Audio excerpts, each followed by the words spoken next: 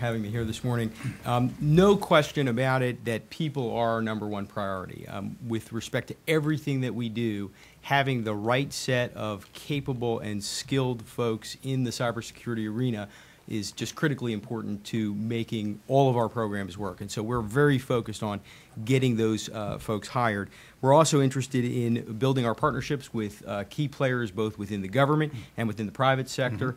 Um, and we're, we're obviously also very interested in building out an ecosystem and a front line of defense um, in order to uh, actually provide the security for the federal executive branch networks.